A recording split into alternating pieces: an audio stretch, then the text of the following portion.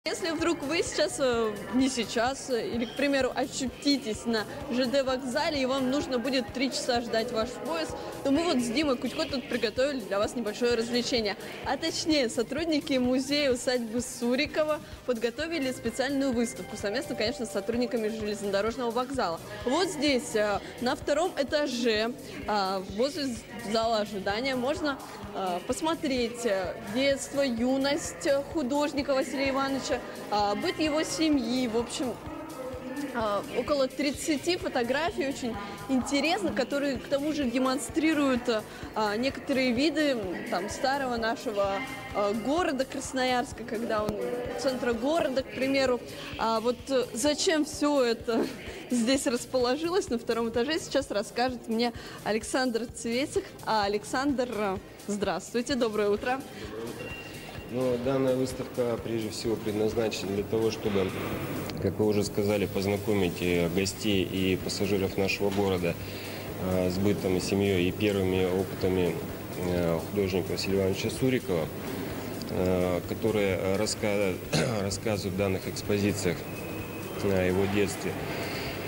И также для приятного проведения времени здесь на железнодорожном вокзале Красноярск, потому что э, на сегодняшний день не каждый имеет либо такой возможности, либо желание посетить музей, э, и он может это сделать, путешествие по России. Не успевает, например, да, в музей зайти, а тут на ЖД вокзале сразу для него все это. Да, то есть он- они спокойно могут прийти на второй этаж железнодорожного вокзала и посмотреть э, представленные экспозиции. Ну, выставка на самом деле небольшая, посмотреть ее можно, ну, минут за 30, я думаю, хватит. А есть еще какие-нибудь такие развлечения, так скажем, на железнодорожном вокзале? Что еще можно посмотреть, увидеть? А я еще продолжу, что это не последняя экспозиция. Мы дальше работаем в этом направлении. А, Параллельно на железнодорожном вокзале а, проходит у нас арт-объект выставка «Ангелы мира», которая расположена как на первом, так и на втором этаже.